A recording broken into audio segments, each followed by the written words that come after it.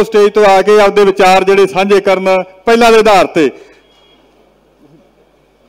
ਕਿਸਾਨ ਜਥੇਬੰਦੀਆਂ ਦੇ ਕਾ ਜਿੰਦਾਬਾਦ। ਔਰ ਮੇਰਾ ਨਾਮ ਵੀ ਬੋਲ ਦਿਆ ਭਾਈ ਬਾਅਦ ਮੈਂ ਬੁਲਾ ਦਿੱਤੇ ਹੈ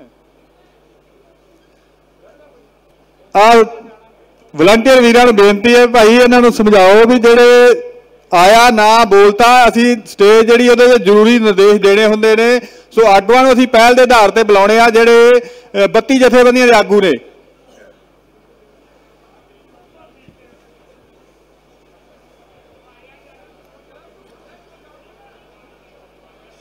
ਸਿੰਘੂ ਬਾਰਡਰ ਦੀ ਇਸ ਸਟੇਜ ਤੇ ਪਿਛਲੇ ਲੰਬੇ ਸਮੇਂ ਤੋਂ ਇਹਨਾਂ ਸਰਕਾਰਾਂ ਦੀਆਂ ਉਹਨਾਂ ਨੀਤੀਆਂ ਦੇ ਖਿਲਾਫ ਜਦੋਜਹਿਦ ਕਰ ਰਹੇ ਸਮੂਹ ਕਿਸਾਨ ਭਰਾਓ ਭੈਣੋ ਵਾਹਿਗੁਰੂ ਜੀ ਕਾ ਖਾਲਸਾ, ਵਾਹਿਗੁਰੂ ਜੀ ਕੀ ਫਤਿਹ।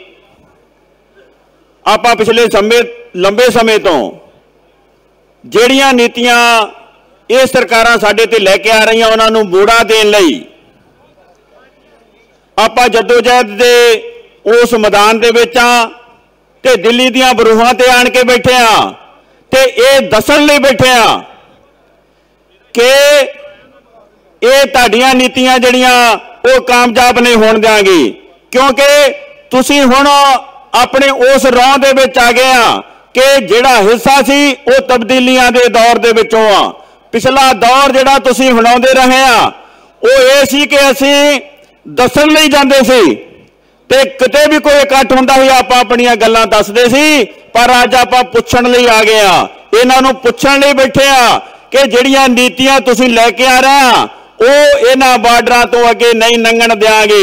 ਇਸ ਕਰਕੇ ਤੁਸੀਂ ਬਾਰਡਰ ਮੱਲ ਕੇ ਬੈਠੇ ਹੋ। ਇਹ ਨੀਤੀਆਂ ਲਾਗੂ ਕਰਨ ਲਈ ਇਹਨਾਂ ਨੂੰ ਪਿੱਛੇ ਜਾਣ ਦੀ ਲੋੜ ਬਣਨੀ ਆ ਤੇ ਅਸੀਂ ਉੱਥੋਂ ਚੱਲ ਕੇ ਇਹਨਾਂ ਤੱਕ ਆ ਗਏ ਆ ਕਿ ਅਸੀਂ ਤੁਹਾਡੇ ਬਾਰ ਮੂਰੇ ਆ ਕੇ ਬੈਠੇ ਆ ਤੇ ਇਸ ਗੱਲ ਦਾ ਫੈਸਲਾ ਕਰਕੇ ਬੈਠੇ ਆ ਕਿ ਜਿਹੜੀਆਂ ਨੀਤੀਆਂ ਤੁਸੀਂ ਬਣਾਓਗੇ, ਉਹ ਲੋਕ ਹਿੱਤਾਂ ਦੀਆਂ ਹੋਣਗੀਆਂ ਤਾਂ ਲਾਗੂ ਕਰਨ ਦਿਆਂਗੇ।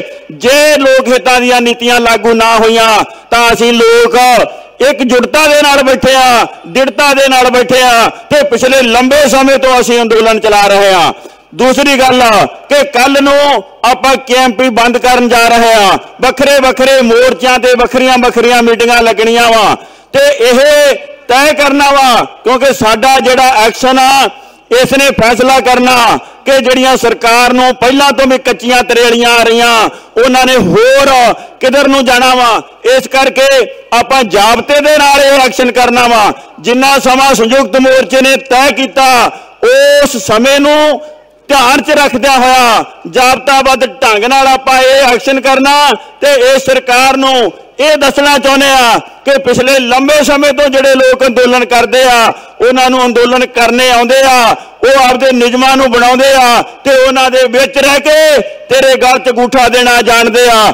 ਇਸ ਕਰਕੇ ਤੇਰੀਆਂ ਕੋਈ ਵੀ ਚਾਲਾਂ ਉਹਨਾਂ ਨੂੰ ਸਫਲ ਨਹੀਂ ਹੋਣ ਦੇਣਗੇ। ਇਸ ਕਰਕੇ ਕੱਲ ਦੀ ਤਿਆਰੀ ਜਿਹੜੀ ਆ, ਉਹ ਸਾਨੂੰ ਸਵੇਰੇ ਯਕੀਨੀ ਤੌਰ ਤੇ ਪੱਕੇ ਰੂਪ ਚ ਰੱਖਣੀ ਚਾਹੀਦੀ ਆ। ਮੋਰਚੇ ਦੀ ਜਿਹੜੀ ਮੀਟਿੰਗ ਆ ਆ ਲੱਗ ਰਹੀ ਆ ਕਿਸਾਨਾਂ ਦੀ 32 ਕਿਸਾਨ ਜਥੇਬੰਦੀਆਂ ਦੀ।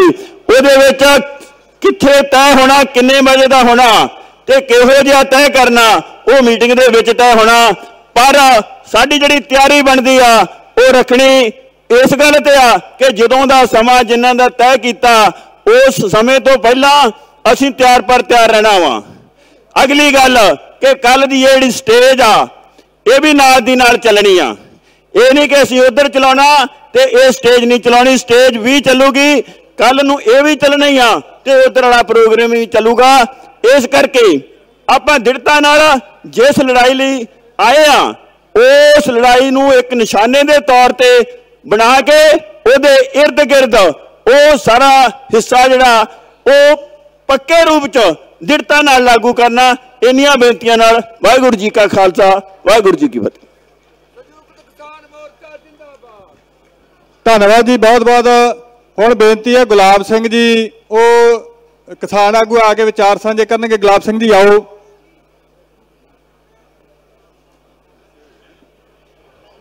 ਹੋ ਜਾਏ, ਗੁੱਸਾ ਵੀ ਹੋ ਜਾਏਗਾ ਦੀ ਵੇ